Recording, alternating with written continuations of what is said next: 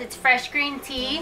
I am going to make vegan nacho cheese today. Just came back from the gym, made some guac, and now I want to make some cheese to go with it.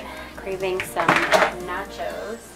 So I have boiled carrot and a boiled sweet potato.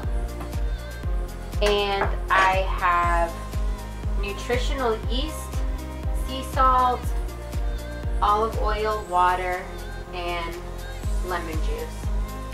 Really easy. I always make half of the recipe that I post because I'm serving one. So keep that in mind. Um, what I make here is half of the recipe. So you're gonna throw it all together and literally you're just gonna blend it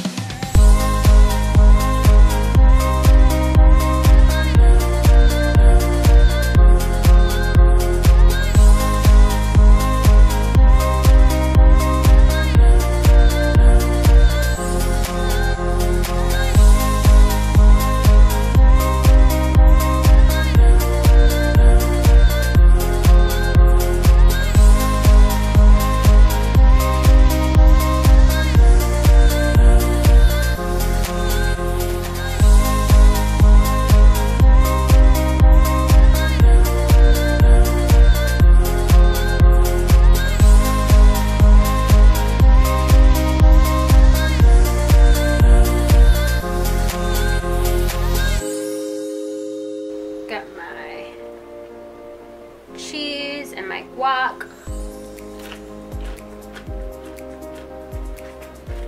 This is good. And just to think that this is all vegetables. I mean, minus the chips. These are corn tortillas. Blue corn tortilla. But it definitely satisfies the craving. This is Tatiana from Fresh Green T.